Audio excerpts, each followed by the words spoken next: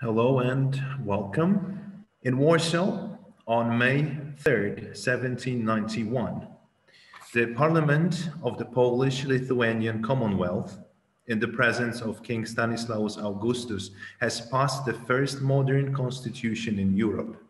It was forged not without a drama on the chamber's floor, in heated debates and among accusations of sneaking in absolutist regulations that threatened ancient liberties of the political nation. The king swore an oath to the constitution and then led the great majority of the members of parliament to the collegiate church of St. John the Baptist nearby. Marshals, bishops, senators, other officials, and the gathered public swore to uphold the constitution. The Te Deum Laudamus hymn, a powerful song of praise and gratitude to God, broke out. On that day, something new and significant took place in the Warsaw streets that inspired the nation. It was immediately perceived as a founding moment of a renewed political community. It is my pleasure to welcome you to this event that marks 230th anniversary of adopting the most remarkable Polish constitution. I am delighted that this is happening in collaboration with George Washington's uh, Mount Vernon that preserves Washington's home and legacy. As President Biden stated in his address to a joint session of Congress last night, America is an idea. It emerges from the opening words of the American Constitution, we the people.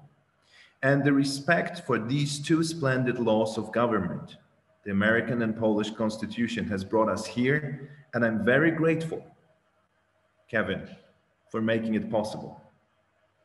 Joining me for this conversation are Kevin Butterfield, Executive Director of the Fred W. Smith National Library for the Study of George Washington and Mount Vernon, and the author of The Making of Tocqueville's America, Law and Association in the Early United States. There is also Richard Butterwick, professor of Polish-Lithuanian history at University College London, and a renowned expert on the 18th century history of Poland and beyond, author of The Polish-Lithuanian Commonwealth, 1733-1795, Light and Flame, and also very brand new book on the Constitution of the 3rd May.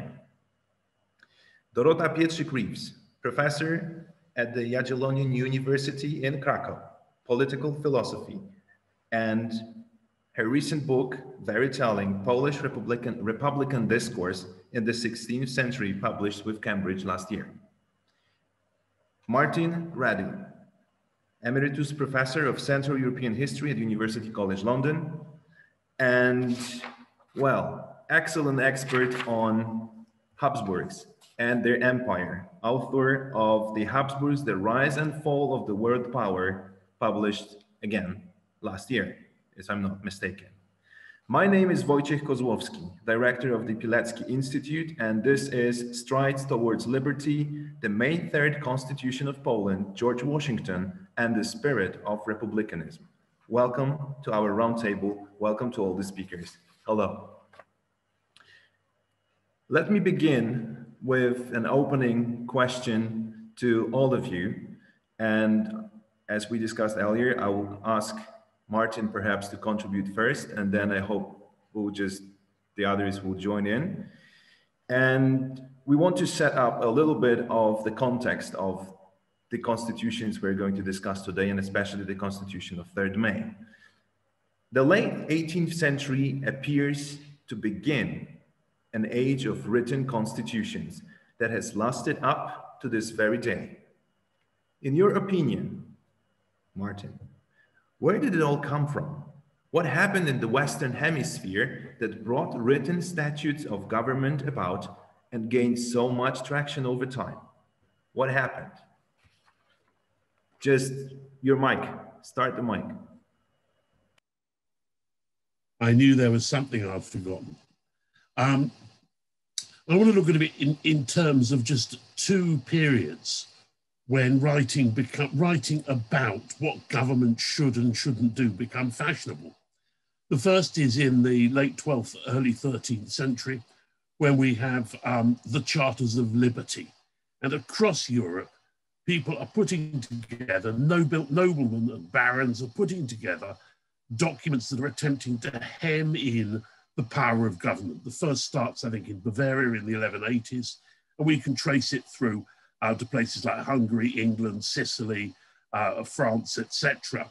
The second moment, of course, is the 18th century, when we have the constitutional fashion, um, where constitutions are put together in America, in France, in Poland, that we're celebrating today. And this continues right through into the 19th century. And its greatest monument is, I think, the Staatslexikon of uh, and Welcker, written in 1834. It goes through many, many different editions. And that is the standard collection of European constitutions. And if you're a Habsburg minister of the interior and you're told it's time that a constitution was uh, put in place, then you literally, as Baron Pillersdorf did, you reach to your bookshelf, pull down uh, the Staatslexikon and copy out uh, whatever bits that you think might apply. Um, so across Europe, across parts of Europe, we see this constitutional fashion. And even in places that don't really yield a constitution, we have a very great interest in constitutionalism. Um, and I think of Hungary in 1790, after Joseph II has died, we have tremendous pressure for a constitutional settlement. It's supported by Leopold II. There's a great flood of people to attend the diets and the county assemblies that will select members of the diets.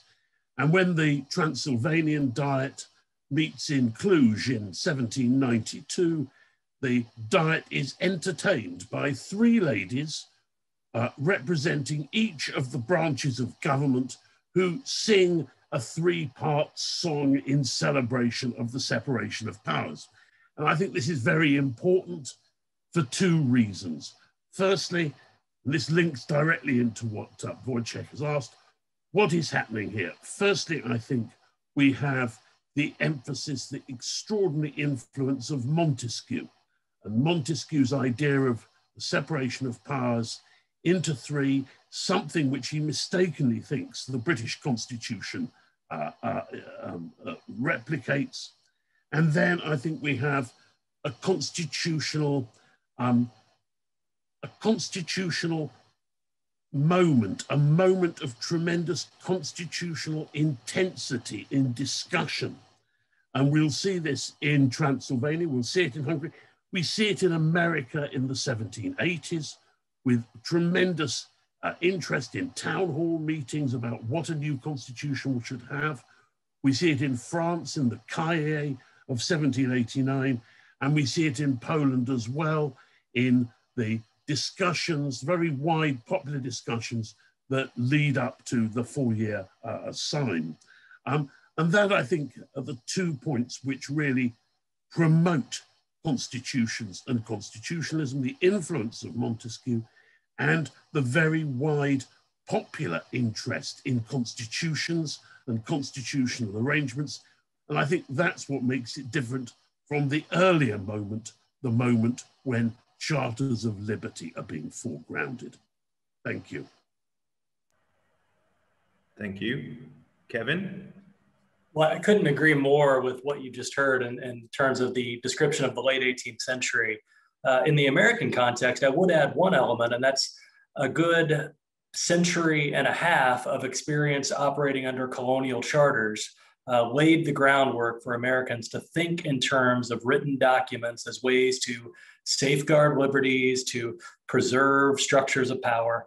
Uh, and by the 1770s, it, it, it is nearly uh, a given that Americans in, in the various colonies that are becoming independent will draft documents. Nearly all of them do. And in fact, by the time you get to 1790, nearly all of them have done it not once, but twice. They've had an initial constitution and replaced it with a better one.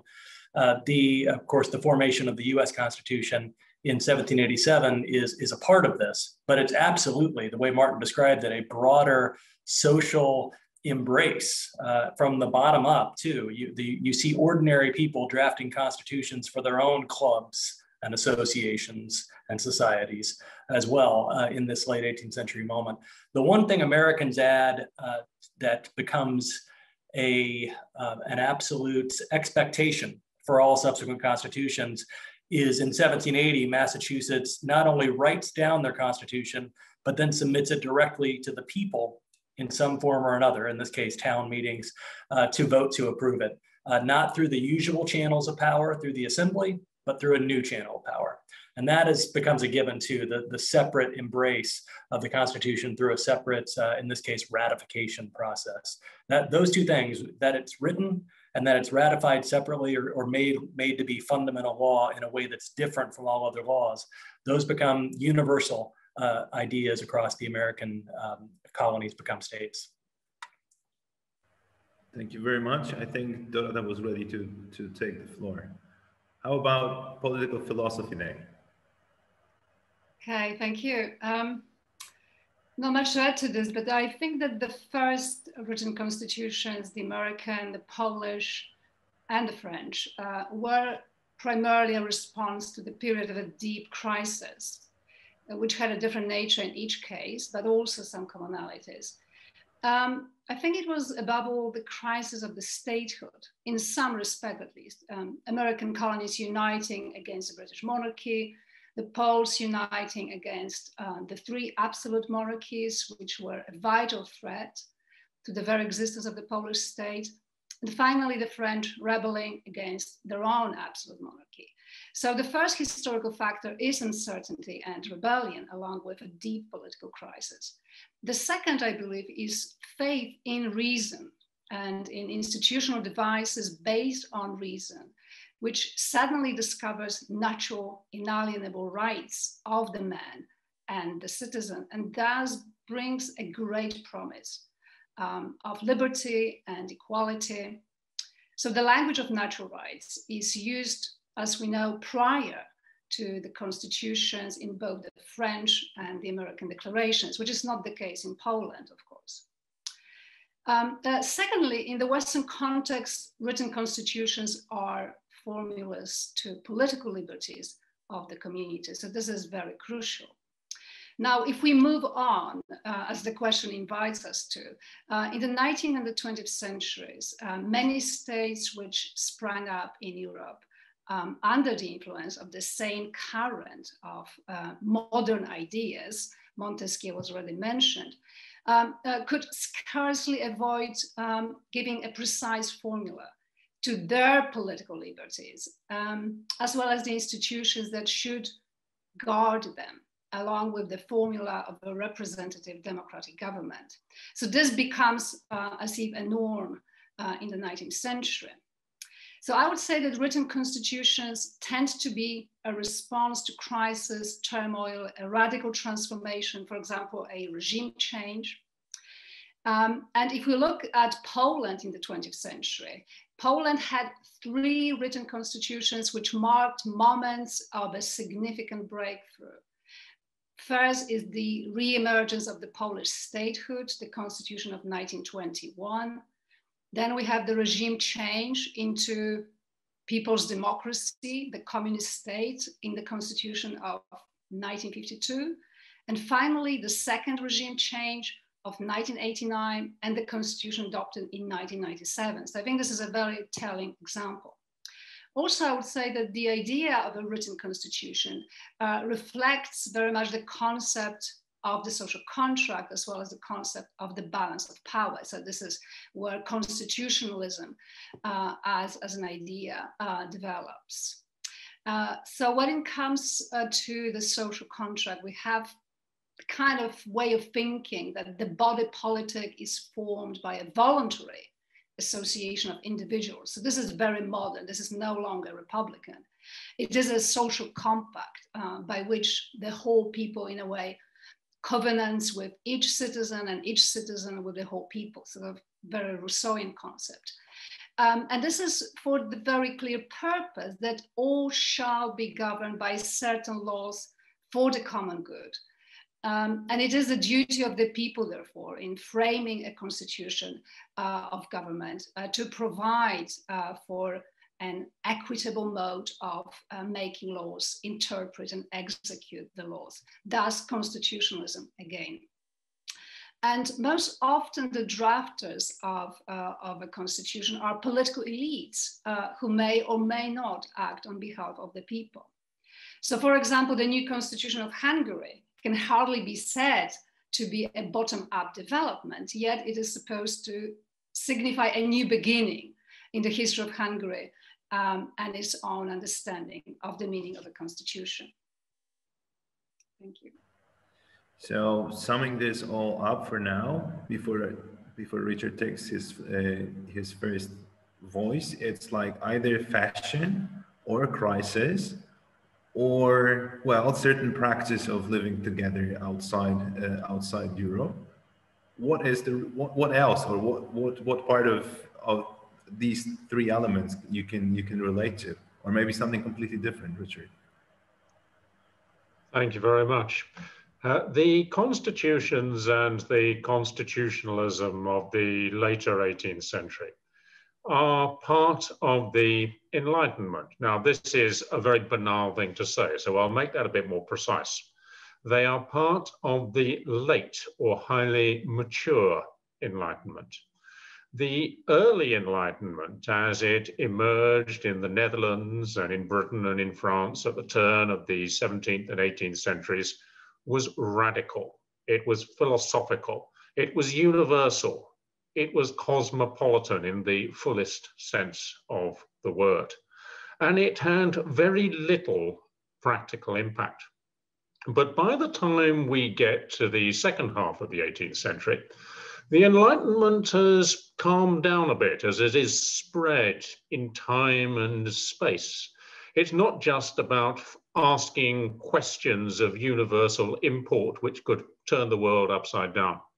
It's about finding practical solutions to problems in local, regional, and especially national contexts. And so the Enlightenment of the later 18th century is more about solutions than it is about criticizing and demolishing things obviously the French Revolution in its radical phase will be something rather different. It's something of an anomaly in terms of the history of the Enlightenment. So the later Enlightenment is also more moderate. It is less inclined to challenge religious uh, religion, especially revealed religion. It offers the opportunity for dialogue and constructive debates between enlightened monarchy and enlightened republicanism. And the Polish Lithuanian constitution of the 3rd of May 1791, I think, is an ideal illustration of the trends of the late Enlightenment within this wider context of what is sometimes called the Atlantic Revolution. Certainly a time of intellectual ferment and criticism, but also a concern to tackle real problems. The cosmopolitanism of the early Enlightenment is very often addressed to the solving of problems in national contexts, and this will have a kind of overlap uh, with the early stages of national movements, and not only in Central and Eastern Europe. Montesquieu has quite rightly been raised as crucial to later 18th century constitutionalism.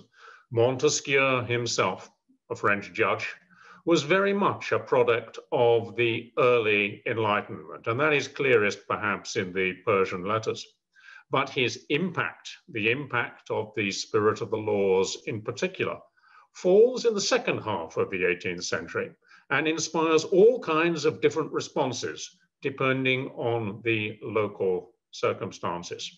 And he is absolutely a part of the Polish constitution of the 3rd of May, uh, particularly in the setting out of a classic statement of the division of powers uh, between the legislative, executive, and judicial powers.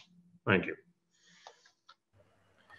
Building on this idea of Atlantic Revolution, of those trends that can be uh, noticed and both on the American shores and in Europe. And all this concept of enlightenment that already opened up to some sort of moderate conversation and discussion. Um, I would be very happy to, to move into a little bit of comparative history or constitutionalism um, at work, uh, which basically mean that I would like to look at American and Polish constitution in the context that where they emerged and in a certain way, I want to refer to what uh, Dorota already mentioned, that is that every single constitution is a product of its time and it has to respond to certain challenges and difficulties that are simply ahead of the particular uh, community that uh, that charts that uh, constitution. So I would start with Kevin and the question: Why? What were the, these challenges that the American Constitution responded to? How was it conceived, and what sort of polity did it, did it imagine? Thank you. Yes, uh, uh, there are, as I mentioned, uh, already a lot of constitutions uh, in the American political uh, sphere long before 1787, uh, beginning with independence. in 1776, we see constitutions drafted and then, in many cases, replaced. The, I want to point out to Dorota's point about crisis. that is the genesis of the Constitution of 1787. It is a sense of uh, impending disaster uh, in the American scene. Uh, that uh, George Washington is, is one of many who felt this, but he felt it powerfully. He had retired here to Mount Vernon, where I am today, uh, after winning the, the revolution as commander in chief, uh, expecting never to serve again. but a sense of national crisis was looming in the mid 1780s. Uh, one letter that George Washington wrote to an aide of his and became, became a secretary, uh, David Humphreys, is actually at your university, Dorotas. That's why I wanted to use this today. It's in your special collections. Uh, this is a letter from Washington describing this sense of crisis in December of 1786. Uh, and he points out the significance of constitutions to this crisis. It is but the other day we were shedding our blood to obtain the constitutions under which we now live, constitutions of our own choice and framing. And now we are unsheathing the sword to overturn them.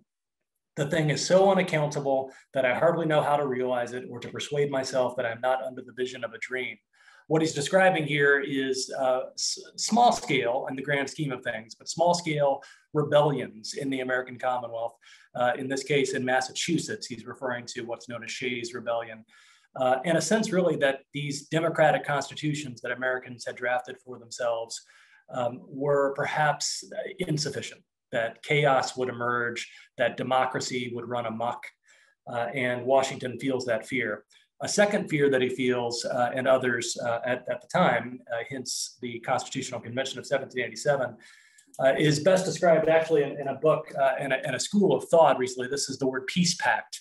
that is, that the American Constitution is a, a better way of, of, of bringing the 13 states into league with one another and to be honest, they referred to Poland more than once as an example of what happens if they were, if they allow themselves to become weak in, in, in, in the international sphere. Um, Daniel Leonard, actually a loyalist, uh, says that the, the Americans, once they became independents, would find themselves easy prey and would be parceled out Poland-like. Uh, and Americans too, uh, Edmund Randolph writing after the Constitutional Convention uh, is, was worried of partitions of our country if they didn't have a stronger national union.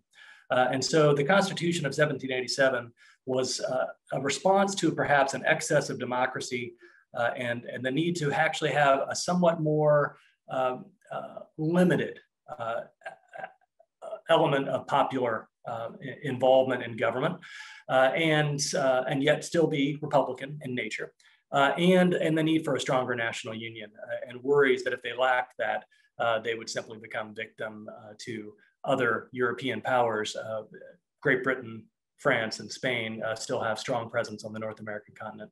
Those two fears uh, really drove forward the American Constitution. Thank you very much. And I, I would address similar question to, to Richard. I mean, how about Polish constitution and what sort of fears are there? Because what I, from what I heard, from Kevin, it looks like Poland was actually an example of being a weakened state in, in, in, in some sort of excessive, un, badly working, I don't know, republicanism or democracy that should be amended and that the Americans wanted to actually avoid the mistakes that we have made, meaning the Poland. So how do you see that? Well, yes, the international reputation of the Polish Lithuanian Commonwealth, or as it was generally called, Poland, uh, was dire. Uh, it was a warning rather than an example. But that changed with the constitution of the 3rd of May on both sides of the Atlantic, as we shall see later on in this discussion. Now, in order to explain the challenges faced and the vision of the polity in the Constitution, I'm going to make use of the contemporary English translation of the preamble to the Constitution. This was made by the Polish minister in London in 1791. It, it's not a perfect translation, it's not entirely accurate, but it's eloquent. And in the case of the preamble, uh, it works. And different phrases in the preamble uh, can show us the kind of crisis faced by the Commonwealth and also the kind of solutions that were reached for. Now, the first phrase is persuaded that our common fate depends entirely upon the establishing and rendering perfect a national constitution. Now, that's important because it shows just how much faith there was in the force of constitutions in order to make things better. Uh, so important, in fact, that the common fate would depend on a perfect constitution. It's what better argument could you have for the importance of later 18th century constitutionalism? Then, convinced by a long train of experience of many defects in our government, well, this is the sort of honest look at themselves and the willingness to admit that they're not perfect and there are many things to, uh, to put right. That too can be compared with the uh, experience of the uh, Confederated States uh, over the Atlantic. And this also relates to that sort of poor opinion uh, of Poland before the Constitution and willing to profit by the present circumstances of Europe and by the favorable moment which has restored us to ourselves, free from the disgraceful shackles of foreign influence. Now, this is referring to the Russian hegemony, uh, which had kept the Commonwealth in shackles effectively since the end of the Great Northern War uh, in 1721, and which had got a great deal tighter uh, during the reign of the Empress Catherine II. In fact, the form of government had been explicitly guaranteed uh, by the Russian Empress from 1768 onwards. And at the start of the Great Four Years' Sejm or Parliament of 1788, that Russian guarantee had been thrown off. And that was possible because of the state of Europe. Russia was engaged in war with the Ottoman Empire in the south and with the Swedes in the north, and was also conflicted uh, with Prussia and Great Britain. You could hardly have had a better situation in which to exercise sovereignty and to reform a form of government which experience has shown to be very much in need of amendment. And then, prizing more than life and every personal consideration, the political existence, external independence, and internal liberty of the nation whose care is entrusted to us. Now, here we have a declaration of amor patriae, uh, which is to exceed any other consideration. That's uh, very much part of the Republican heritage. Uh, but also we have this three sets of objectives which sort of loosely correspond also to those sort of three objectives of political power which loosely correspond to the three uh, to the three powers in government. The political existence, well, that's pretty uh, clear uh, that there's a danger that everything could be destroyed. And external independence, uh, this is to do with the collective freedom uh, of the uh, national community, but also the internal liberty. This is where that sort of Montesquieuian or even proto-liberal element comes in. There is no abandonment of the individual liberties of particular citizens, quite the obvious. And then the idea of the nation and the sense of responsibility for the entire nation. This will come through later in the move from delegation to representation uh, on the part of the legislative power within the Constitution. Desirous, moreover, to deserve the blessing and gratitude not only of our contemporaries, but also of future generations. Well, this is the appeal to history. Uh, a sense that history is watching, and this is something that will be a lasting beginning. That is a powerful emotional argument. In fact, the whole preamble has something of the character of a political sermon uh, as much as anything else. For the sake of the public good, for securing our liberty and maintaining our kingdom and our possessions. This is a kind of repeat of those three things that were mentioned uh, earlier. So the repetition is also uh, an important rhetorical strategy. In order to exert our natural rights, this is important, that concept is there, even if it's not foregrounded. Uh, and it's part of the changes in Polish political discourse that had taken place in the previous uh, generation. With zeal and firmness, we do solemnly establish the present constitution, which we declare wholly inviolable in every part, till such period as shall be prescribed by law when the nation, if it should think fit and deem it necessary, may alter by its express will such articles therein as shall be found inadequate. In other words, there is the possibility, which is defined later as every 25 years, uh, for the constitution to be amended. In that sense, it actually makes the constitution of Poland a great deal more flexible than the American Constitution, which has lasted with its amendments, because those amendments would have been much easier to make, at least once every five, 25 years. And then finally, and this present constitution shall be the standard of all laws and statutes for future diets. And later on, there's also uh, the detail uh, that previous laws not in accordance with the Constitution are automatically repealed. So therefore, it is the fundamental law of the uh, political uh, community, derived from the values of the political community. It's about the form of government, it's about the uh, way in which citizens relate to each other, uh, but it, it, will also be about the form of society. And the vision of the polity uh, comes in two parts. Articles two to four are about the social structure, uh, about the nobility, the burghers, and the peasants. And this is obviously a clear difference to the American Constitution. But if there's time later, we can talk about how these things were able to evolve.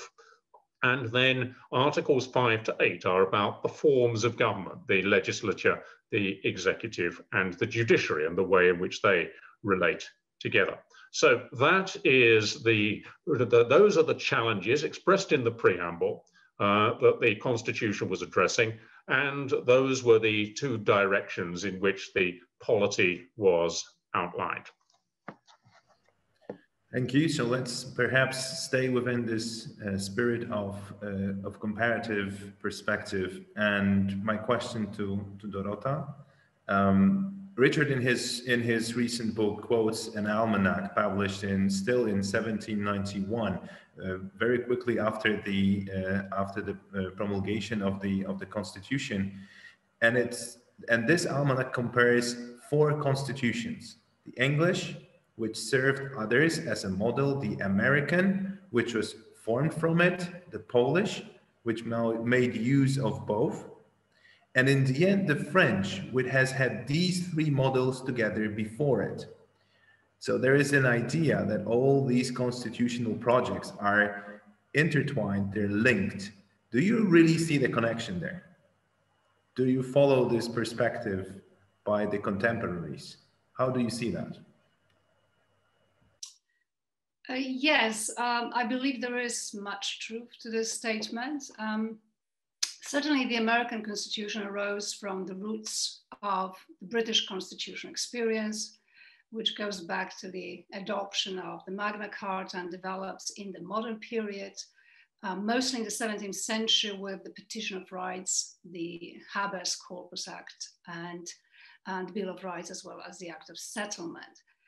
Um, now, the Polish Lithuanian Constitution of 1971 was the product of I believe, the four and a half century struggle to both uh, restrain the king's power and to create institutions which perhaps we could say today uh, were fundamental to a constitutional government, although this is not the language that would be used at the time.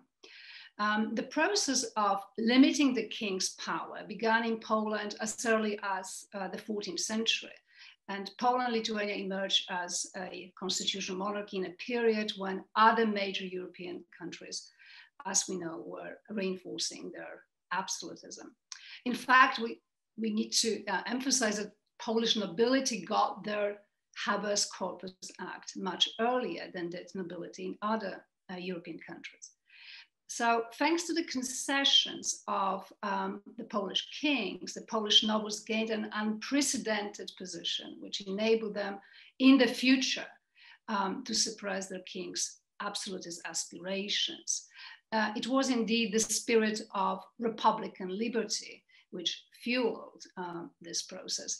Um, by Republican liberty, I mean what in recent scholarship has been termed as either uh, freedom identified with non-domination or freedom as the absence of arbitrary powers. I'm referring here to Philip Pettit and Quentin Skinner, respectively. Now, going back into history, between the 13th and the 16th centuries, a number of small charters, charters of liberties, often called privileges as they were used, usually granted only to the nobility.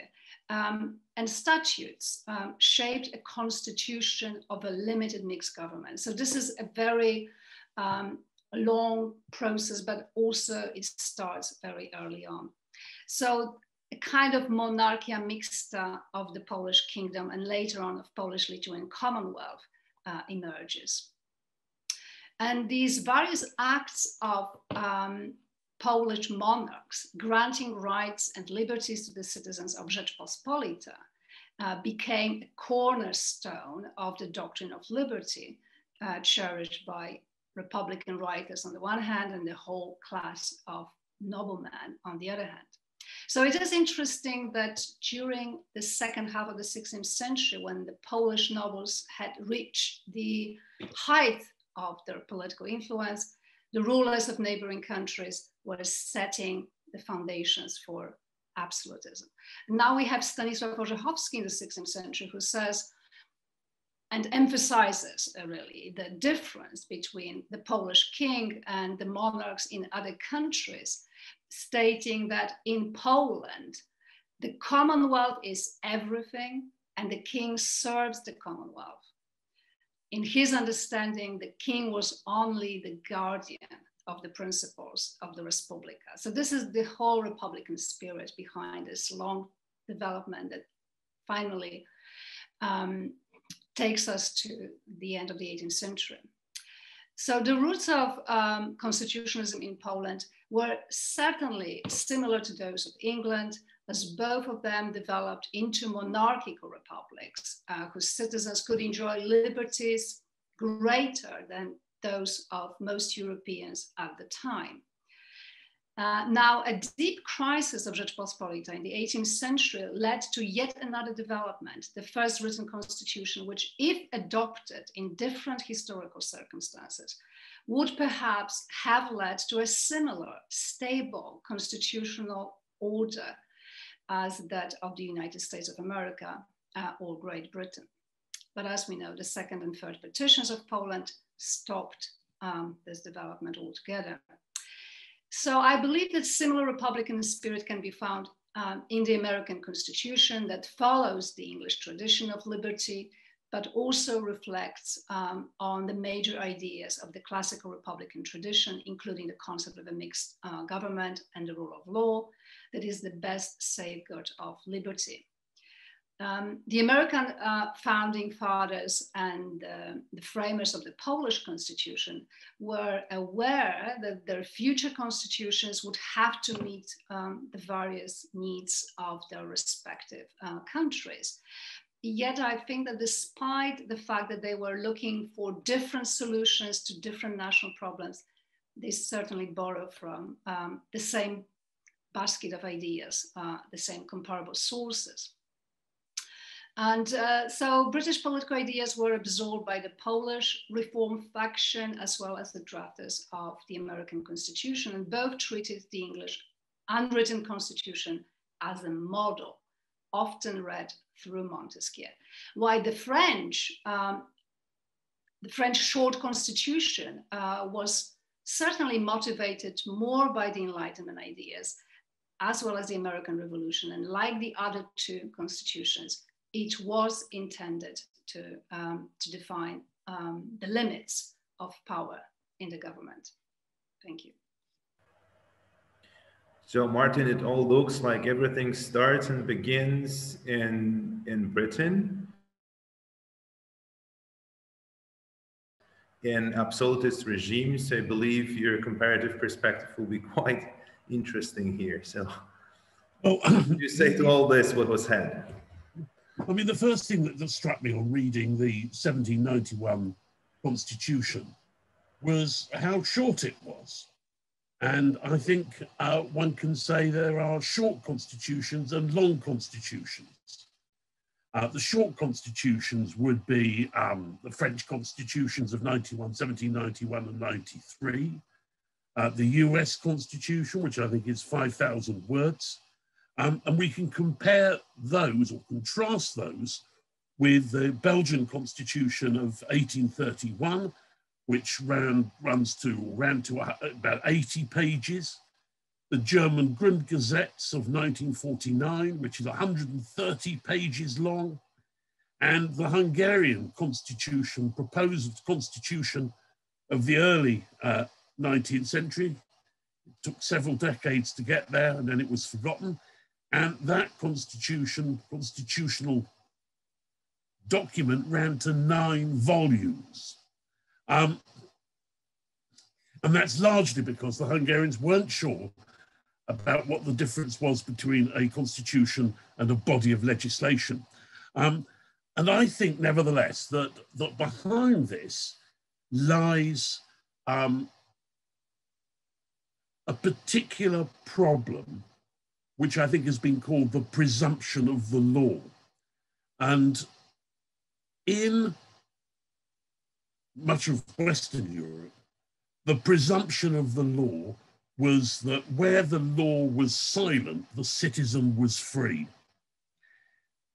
In Central Europe, in particular, one has the idea of freie Verwaltung, of um, the presumption of the law on the part of the state, that where the law was silent, the government, the king, has the right to issue decrees. In other words, to fill the void, which is freedom in much of Western Europe, and to fill it with government edicts. And of course, in large parts in the Habsburg areas, where I'm most familiar, the body of edicts far exceeds any sort of statutory arrangements.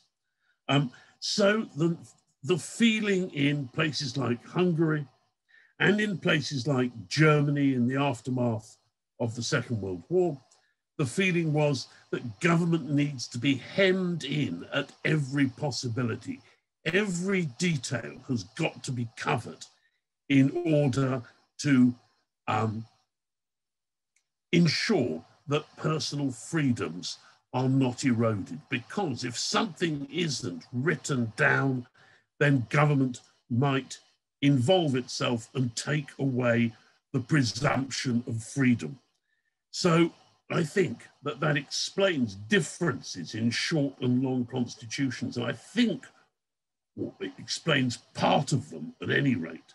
Uh, and I think it reflects to a degree on the background to Poland. The problem with Poland was not so much a powerful monarchy, it was, in many respects, a weak monarchy. And at the same time, Poland has not gone through the tremendous change that occurs in much of Central Europe, the Roman law revolution.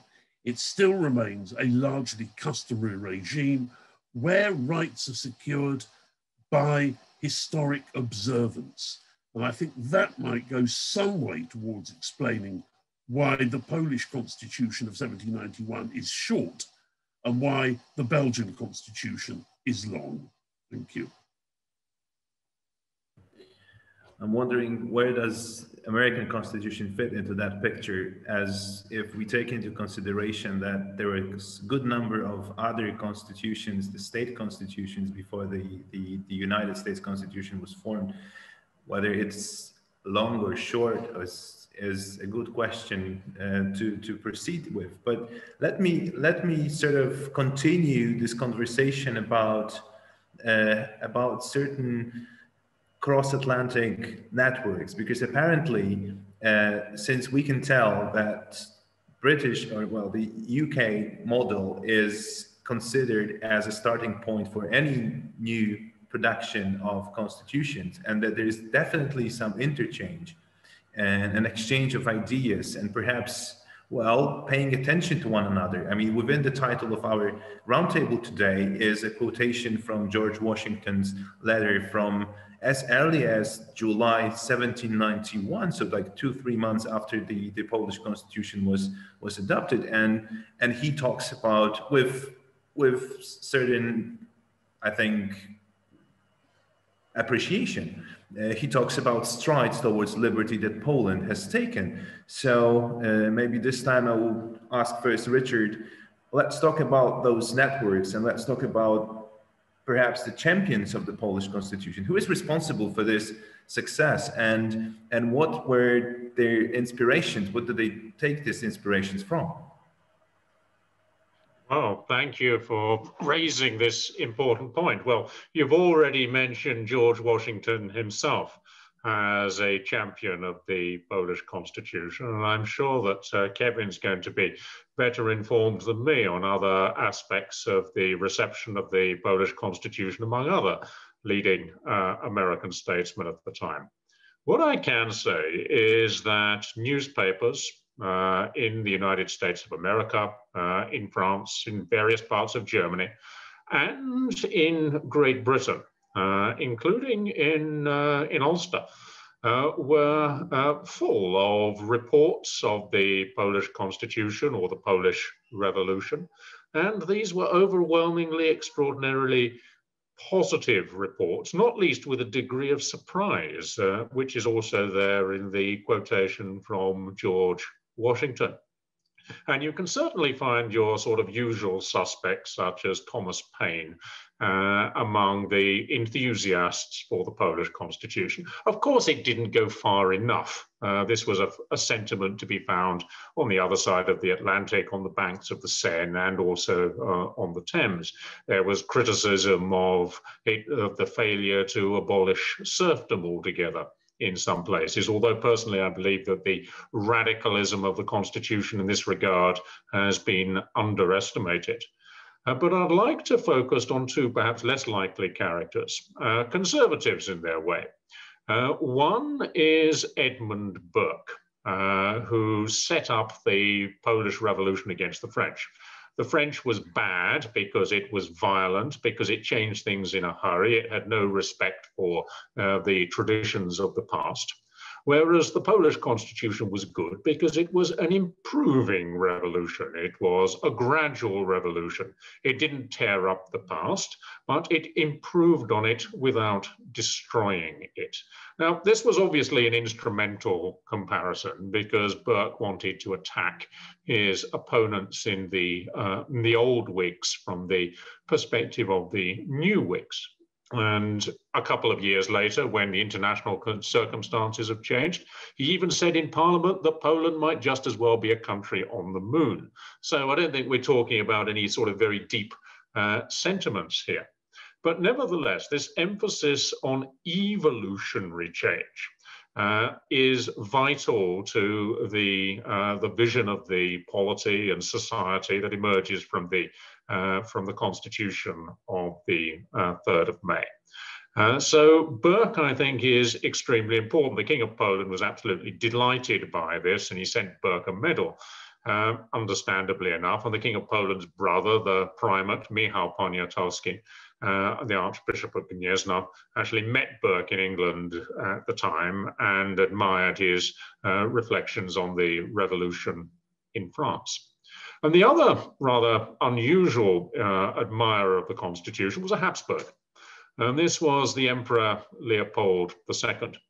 Now, of course, he had a vested interest uh, that the Commonwealth would survive as a buffer against the expansion of Russia and Prussia. But he had himself something of a record uh, as a constitutionalist. He had at least toyed with the idea of a constitution for the Grand Duchy of Tuscany, where he was allowed to conduct his enlightened experiments while Joseph II, in the main part of the Habsburg monarchy, had to deal with the real problems of power. Uh, but it certainly does look as though Leopold sincerely admired the particular balance between monarchy and republicanism, uh, between law, uh, liberty, uh, and prosperity, which uh, you could find in the Polish constitution. So Leopold II, we shouldn't forget him either. Thank you. Kevin, from your perspective, any links, any ties uh, in George Washington's networks that lead to to Poland or to his perspective on what happened in, in, in Poland at that time? Uh, yes, a great deal. I'll keep my answer somewhat short since Richard, Richard covered a fair amount The, uh, the, the, reality is the strides towards liberty uh, quotation from, from Washington uh, part of our uh, title of, of our event, is preceded by the words large and unexpected in this letter, large and unexpected strides towards liberty. Uh, and that is something that I noticed too in, in how people are responding to the news coming from Poland. We're losing you. I'm sorry. I, for some reason, your mic is is muted to a certain degree. How about now? Am I back? Now we can. Yeah, you, we can hear you, but we lost some of the volume. You know, I know what happened. Maybe you just yeah, just... someone tried to call me and it keeps happening. Sorry.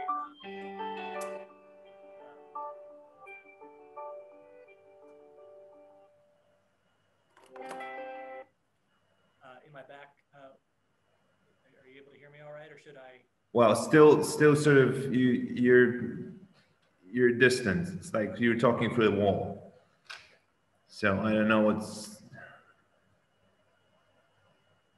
why don't you move on to someone else and I'll see if I can fix it. All right. Okay. Okay. Um, so perhaps uh, we can we can move back to um, to the question that I was I was sort of considering here uh, about the the networks, and I was thinking if if Dorota, you have any uh, any perspective on that uh, that issue, meaning if we start to think about the Polish constitution uh, as, as a modern project, as something that changes the, uh, the regular perspective on how, we, how the, the, the nation would define itself before, then, um, and we really, we talk a little bit about that, that this is a kind of a big step forward and uh, Washington talking about strides towards liberty. Uh, we're thinking about constitution as something that opens up new areas, avenues of, of political development. And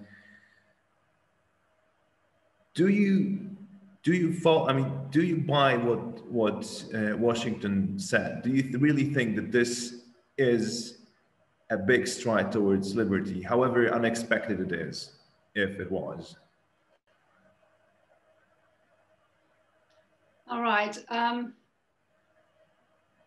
so I would start with uh, sort of referring back to what was said before that the Polish constitution arose from the roots of many centuries of political experience and also the healthy attempt to accommodate uh, these elaborate traditions into new realities. Now, often these attempts, especially in the second half of the 17th century and the first half of the 18th century, were unsuccessful. Attempts to somehow modify the structure of the government so it can better respond to the new challenges, especially the wars that were uh, happening uh, throughout the whole 17th century and the crisis that was caused so some of these attempts, actually a lot of these attempts to modify the government were unsuccessful. So we have to bear this in mind. Um, now, the May Constitution did not survive for long, but uh, this fact is rarely recognized as its failure or failure of its framers. Uh, to the contrary, in the Polish uh, historiography, the Constitution, despite criticism, of course, there is a lot of criticism, was widely evaluated as one of the most significant political achievements, which affected um, the political culture or perhaps political awareness of the generations of Poles. So it is, in fact, regarded as um, a huge achievement after all these attempts to reframe the government, to um, uh, introduce some significant changes. We finally have the end of the 18th century and this final attempt to actually achieve this goal. Um, and also uh, referring to uh, Washington's statement, um, certainly the Constitution was both modern and innovative uh, as much as it could be if we take into consideration the social strata, the role of the nobility, and the tensions that existed among them.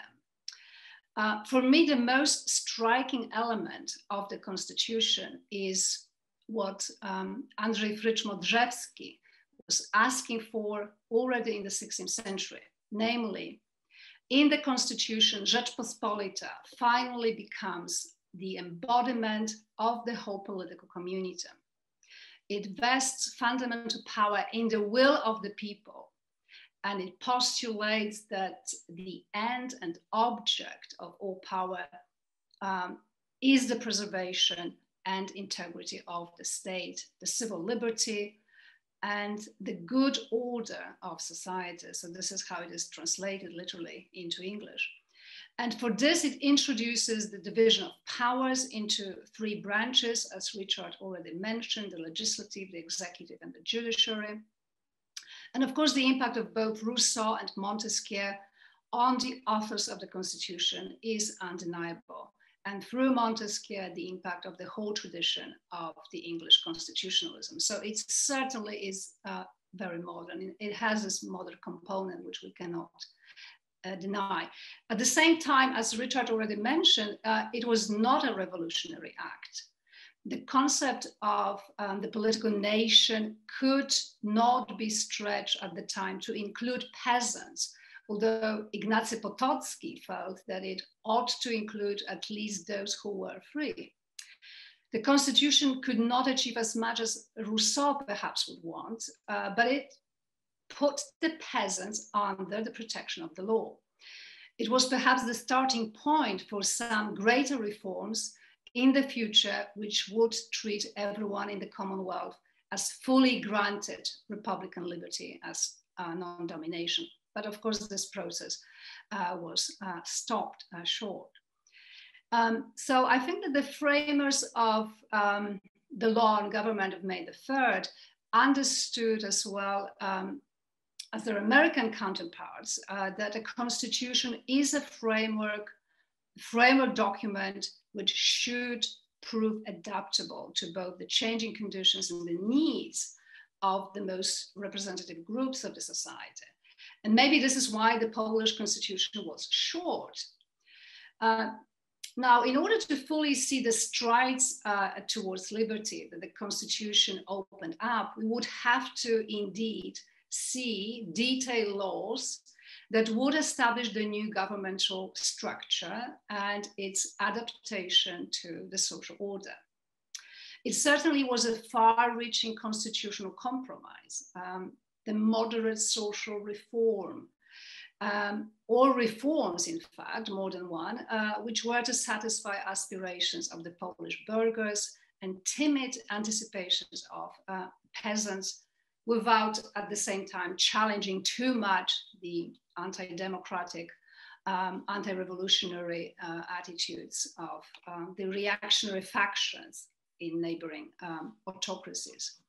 So as far as the strides towards liberty, I would say that the constitution was a document drafted by the nobility, but perhaps for the first time was to serve the whole nation. Um, its framers tried to convey a message that the ruling estate of, um, of the nobles had both rights and duties.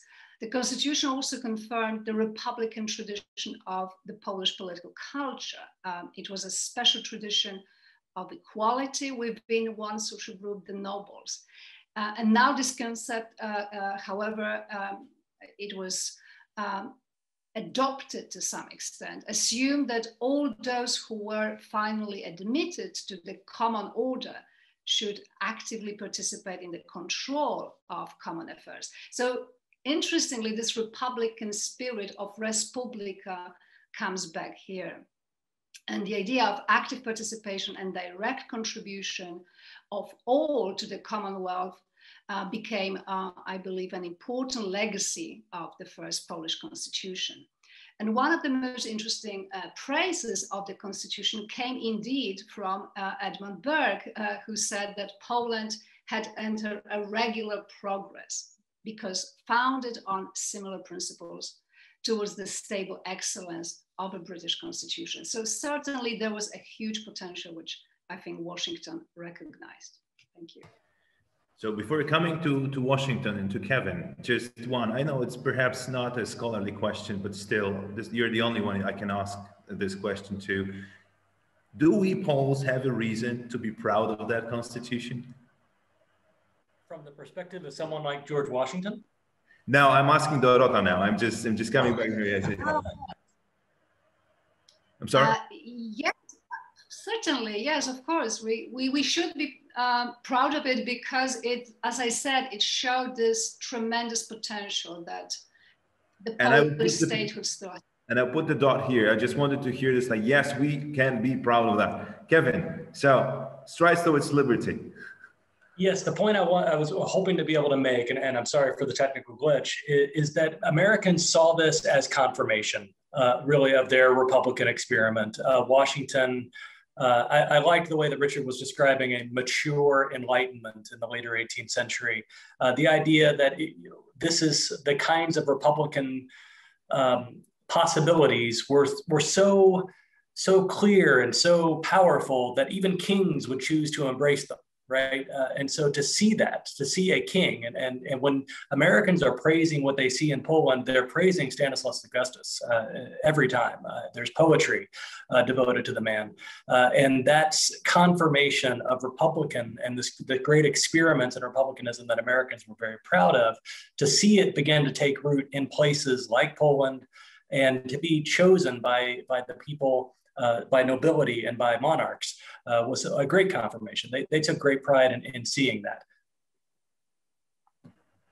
Thank you. And just building on that, I want to uh, refer to, to Martyn. I mean, um, this, uh, this constitution, Constitution of 3rd May, as Dorota already mentioned, is partially a failure, 14 months in existence.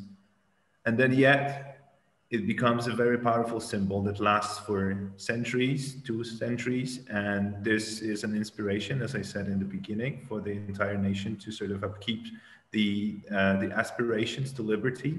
And at the same time, this is something considered by any occupant that comes to the Polish land as, as a thing you have to ban and you have to keep away, both Nazis and the Soviets and the communist regime. What do you make of that? Well, I mean, I think that I think Dorota gave the indication as to why it's important when she said it shows our tremendous potential. I mean, if you look at Polish history in the 18th century, it is not a particularly happy experience um, of um, foreign intervention, of a very ossified uh, social structure, um, Poles are visiting the West and they're saying, you know, how, how come the, the Britain and the Netherlands are so advanced? Um, how come we haven't got anywhere like this? Um, there's a feeling of backwardness that is very powerfully emerging in the 18th century.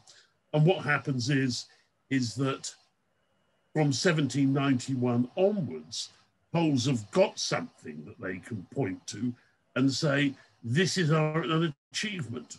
We were in the business of establishing firm um, governmental foundations. Um, we were moving along a Republican road. We are moving towards being a free country in multiple senses of that. And so it provides, if you like, a retrospective beacon for Polish um, development.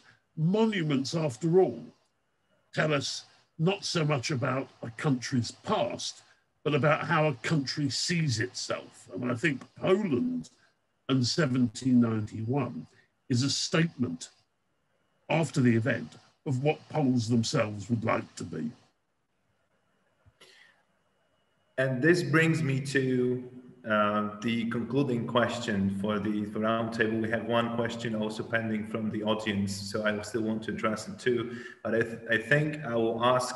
I will start with Richard. I mean, um, we are discussing the late 18th century constitutions or constitutional projects. and what as well, you are a scholar, you're an expert, but you also you're quite vigilant obs observant of what's going on all around the, the place today in the contemporary world. What is the legacy of those constitutions? What, what, what sort of, what is the meaning today? What is the significance of that, of the constitutions, perhaps the Constitution of 3rd May today? How do you see this? What do you say to that? Well, the American Constitution is sacralized. Uh, it is something that remains extraordinarily important to almost all Americans. And albeit difficult to amend, it has moved with the times to provide that framework. And it has served to defend against possible abuses of power very, very recently. Now, the American Constitution has played a role which the Polish Constitution of the 3rd of May could have played had it not been forcibly overthrown uh, after 14 and a half months. The old Commonwealth did not collapse, that word is sometimes used. It was destroyed. It was destroyed from the outside precisely because the Commonwealth was a threat geopolitically and ideologically to the neighboring absolute monarchies, especially the Russian Empire. There was, there is a, a particular part of the fourth article of the Constitution on the peasants. Uh, Dorot has already mentioned the extraordinarily important uh, encompassing of the peasants as the most numerous and useful part of the nation. But there is a specific point there that as soon as any migrants into the Commonwealth the phrase used is the, uh, the territories of the Commonwealth. Uh, steps on Polish soil, they are a free person, even if they've left the Commonwealth and come back again. They can go to a town, they can learn a trade, they can contract for their labor in order to run a farm. Uh, and that infuriated and outraged the Empress Catherine II. And she was afraid that serfs from the Russian Empire would en masse migrate to the Commonwealth.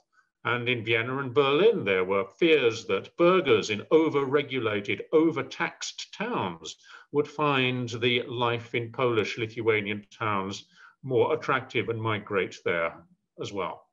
So this potential, this threatening potential, had to be destroyed.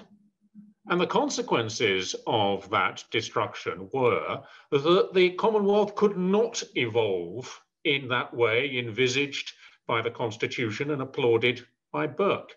It took an entirely different path of insurrectionary uh, republicanism, uh, a romantic uh, uh idea of the spirit, uh, and a kind of uh, shifting between sort of euphoria of uprisings and despair of being subjugated once more. Those are no conditions for any kind of normal politics.